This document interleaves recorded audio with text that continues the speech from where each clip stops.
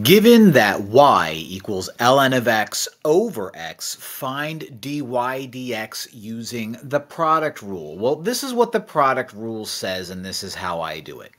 Okay, if you have two functions multiplied together, you take the derivative of the first function, you multiply it to the second function as, as is, then you add the derivative of the second function multiplied to the first function as is.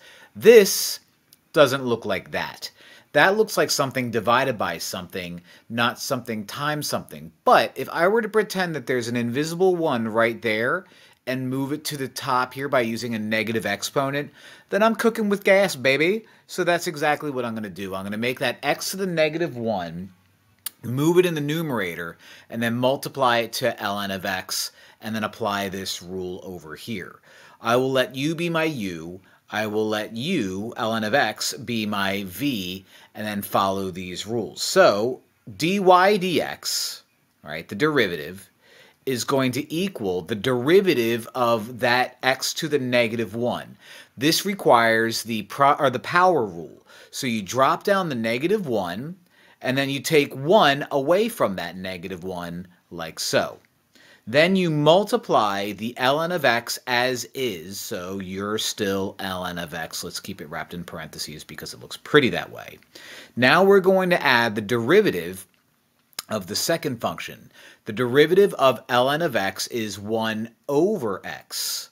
Multiply that to the first function as is, the original u, which is x to the negative 1. Now there's lots to clean up here, and so that's what I'm going to do right now.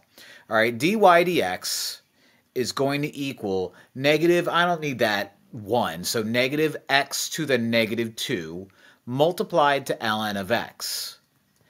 I'm going, I don't like negative exponents, so I'll leave u as 1 over x, and I'm going to turn u into 1 over x. All right?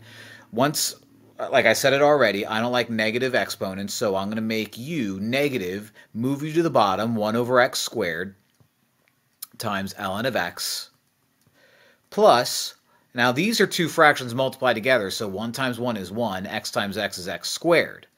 Now let's multiply that ln of x to that 1 up there so we can combine these fractions.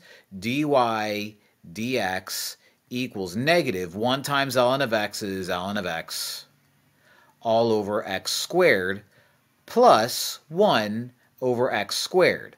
Now, since these are two fractions that have the same denominator, we might as well just combine them. So dy dx is going to equal negative ln of x plus 1 all over x squared. So not the prettiest looking guy on the planet, but that's all right. It's not all about beauty. You know, the, the beauty's on the inside. That counts. That's what I hear.